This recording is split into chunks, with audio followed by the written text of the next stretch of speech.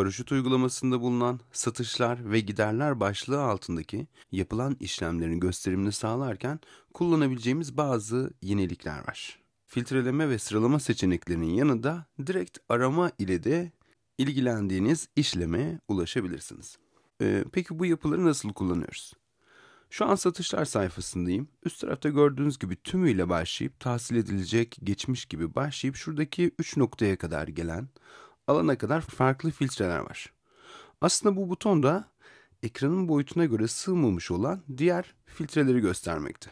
Faturaların yazdırılmamış veya yazdırılmış olanlarını farklı farklı filtreleyerek listeleyebilirsiniz. Yine faturaları ekibiniz içerisinde veya müşterilerinizle paylaşıyorsanız bu paylaşımın yapılıp yapılmadığını da yine buradaki filtrelemeler aracılığıyla kalan faturaları görüntüleyebilirsiniz. Bunun haricinde faturalar arasında gezinebilmek için kullanabileceğiniz bir diğer yöntem tarihsel bazda. Aylık görünüm seçeneğini seçtiğinizde şu anda bulunduğunuz aya göre bulunan faturaları gösterecektir. Birkaç önceki aya yönelik yapılmış olan fatura işlemlerinde burada ay bazında da listelenmesini sağlayabilirsiniz. Şuradaki çarpı butonunu tıklayarak normal yani tümü filtre seçeneğiyle görüntülenen yapıya geri dönüş yapıyorum. Burada ayrıca tarihsel başlığı altında takvimden seç adında bir bölüm var. Bu takvimden seçeneğini daha çok raporlar bölümünde gördüğümüz bir seçenekti. Tıklıyorum seçeneğe. Bir başlangıç ve bitiş tarihi belirtiyorum. Şöyle örneğin 1 Haziran 3 Kasım tarihleri arasındaki faturaları göster diyeceğim uygula butonuna tıklayarak ve o tarih aralığındaki satış faturalarını şu anda gösteriyor.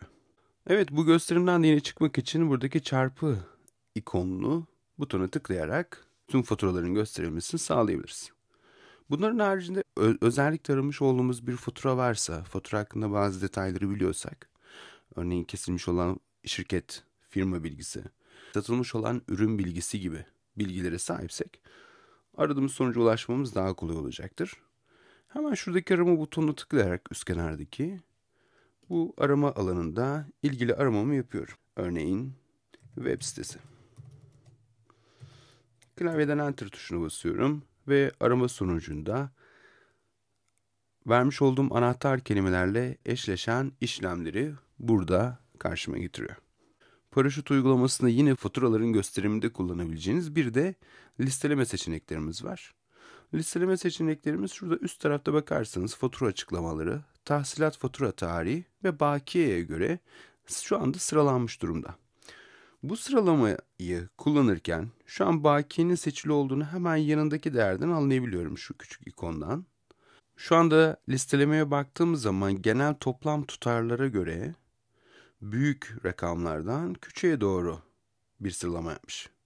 Tam tersini küçükten büyüğe doğru da sıralama yapmak için buradaki liste başlığına tıklayarak tam ters bir şekilde sıralama yapmasını sağlayabilirim.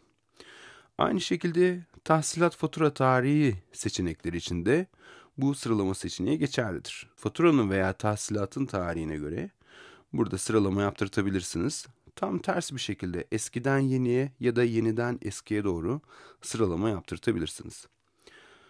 Yeni bir fatura oluşturma videosunda fatura açıklamalarının bizim için önemli olduğundan bahsetmiştik. Burada görmüş olduğunuz ambalaj tasarımı, Durix logo tasarımı gibi açıklamalar fatura oluşturma sayfasındaki ilk satırdaki girmiş olduğumuz bilgiydi. Bu fatura açıklamaları baz alınarak alfabetik sıraya göre sıralanmasını sağlayabiliriz. Bunu yine aynı şekilde ters bir sıralama da Z'den A'ya doğru yani yaptırtabiliriz. Evet, satışlar veya giderler olsun. Aradığınız faturaya ulaşabilmek için bahsetmiş olduğum filtreleme, arama ve sıralama yöntemlerini kullanabilirsiniz. Bunun haricinde faturalarınız üzerinde özellikle kategorileri de kullanıyorsanız belirli periyotlarda 3 aylık, 6 aylık veya yıllık gibi periyotlarda sol alt köşede bakın tüm kayıtlar adında bir seçenek var. Burada faturalara girmiş olduğunuz şu etiketleri üzerinden de listeleme yaptırtabilirsiniz. Şu şekilde sadece tasarım etiketine sahip faturaların gösterilmesini sağlıyor. Dönemsel kontrolleriniz esnasında veya ilgili etikete ait yapılmış olan işlemleri kontrol etmeniz bazında size yardımcı olacak bir özellik. Son bir konu hakkında da bir hatırlatma yapmak isterim. Bir önceki satışlar ve giderler fatura gösterim sayfasında üst tarafta fatura içe aktar ve dışa aktar butonumuz vardı. Bu buton da sayfanın sağ alt köşesine eklenmiş durumda.